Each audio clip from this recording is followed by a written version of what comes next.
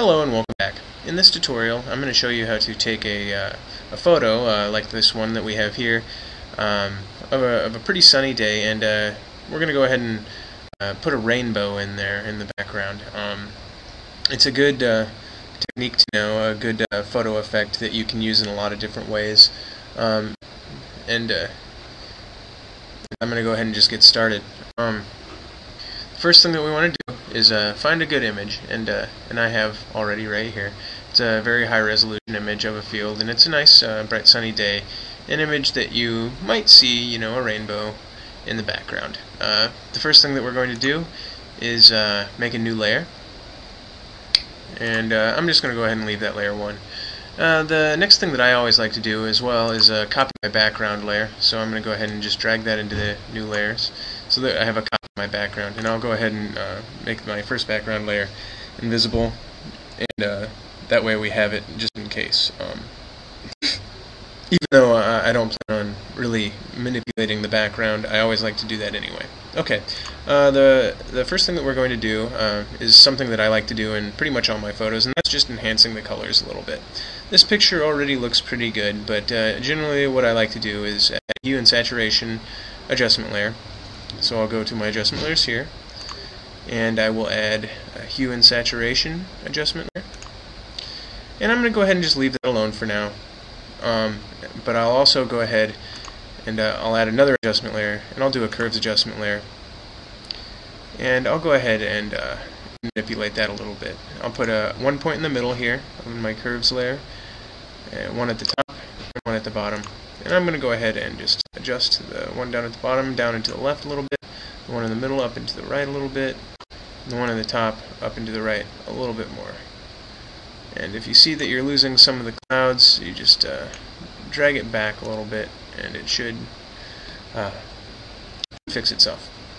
Okay, uh, now that we've done that, uh, let's go ahead and select the layer that, uh, that we added. It's just called Layer 1 right now. I'm going to go ahead and rename it Rainbow.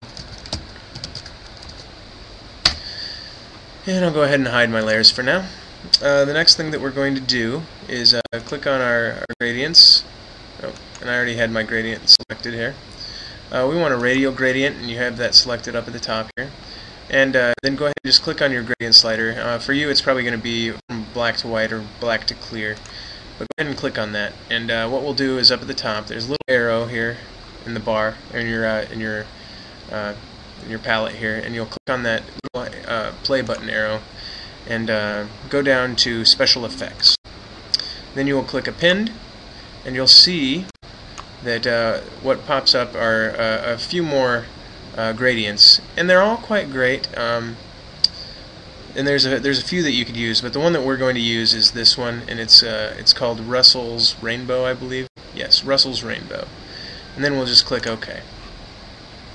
And uh, you once again make sure you have a radial gradient selected, and then you have your uh, gradient tool selected, and just pretty much just click somewhere on the picture, somewhere in the middle, and drag uh, out to the edge. You can hold down Shift if you like. And that'll make something like that for you. I'm going to go ahead, I'm only going to use some of this, about that much.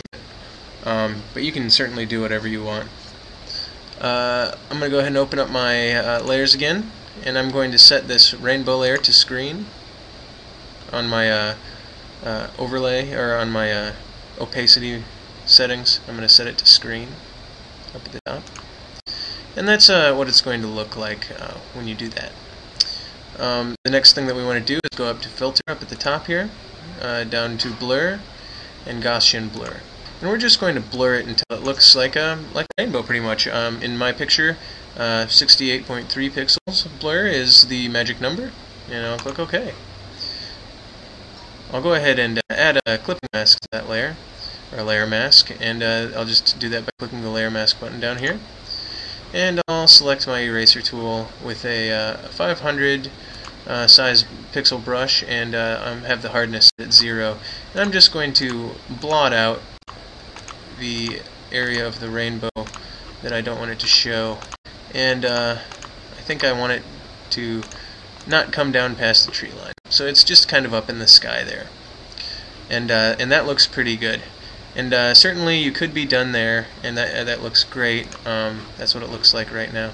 But uh, the one thing that I like to do is in my layers palette, if you remember we added that hue and saturation adjustment layer.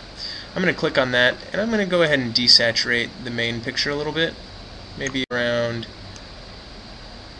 uh,